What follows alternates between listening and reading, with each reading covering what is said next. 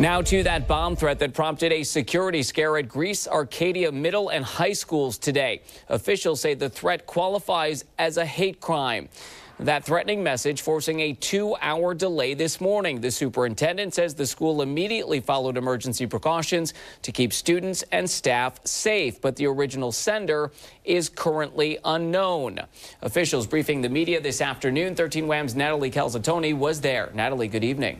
Good evening, Matt. An anonymous bomb threat that Greece School Superintendent Kathleen Graupman says qualifies as a hate crime was forwarded to the district just after 6 this morning.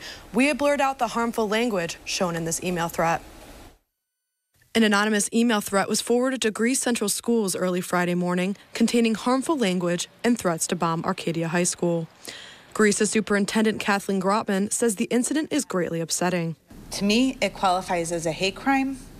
Um, to me, um, I want to work as vigilantly as possible with our authorities to make sure whoever is responsible for this um, is prosecuted to the fullest extent.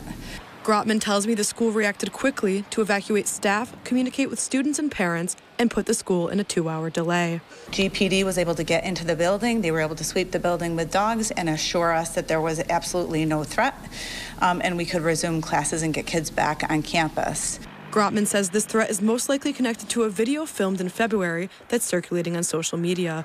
It allegedly shows two students fighting in a school bathroom. She feels the video is being used for a hateful agenda.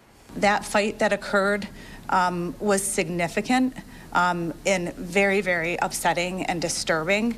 Our district took swift action with that.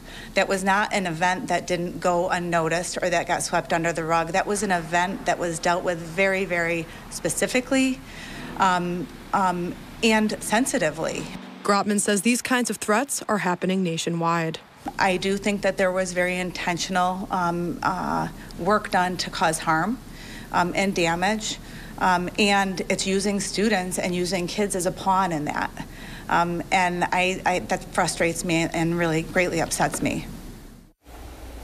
The sender of this threat is currently unknown. Greece police are investigating the matter and say they have been in touch with the FBI. Matt?